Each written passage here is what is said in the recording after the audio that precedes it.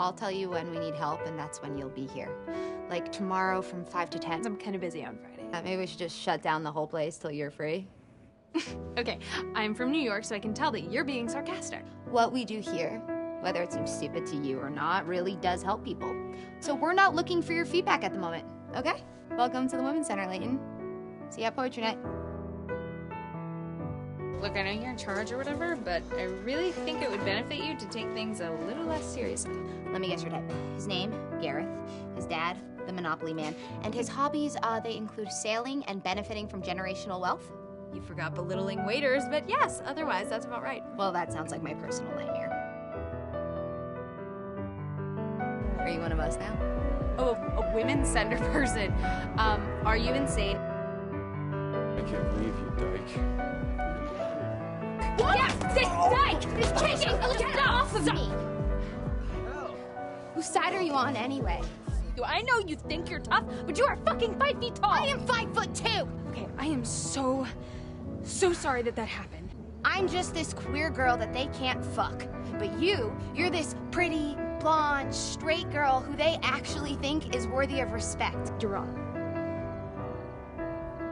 What part am I wrong about? Whoa, I was like really wrong about you. Shut up.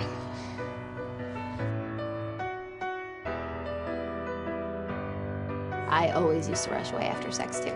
Order some Postmates, maybe watch some Indian Matchmaker.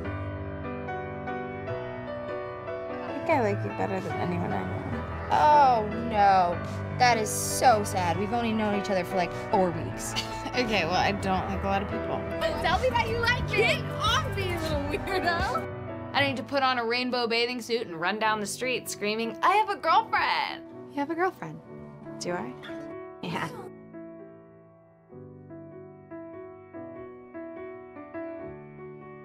I just, I just want to know that you and me can exist outside of this one room. We can. I'm, I'm gonna go. Uh, should we just like get out of town tomorrow? Go somewhere we can be ourselves? Sounds nice. Alicia, you, you posted that? My purse is in the background. People are gonna recognize it and, and know that we are in a hotel room together. Leighton, you're being ridiculous. I'm serious, take it down. Fine. I can't keep dating someone that's closeted.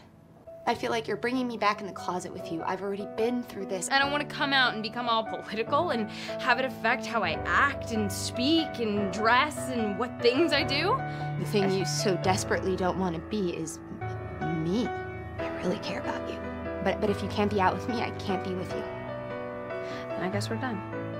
I came to say that I that I really miss you.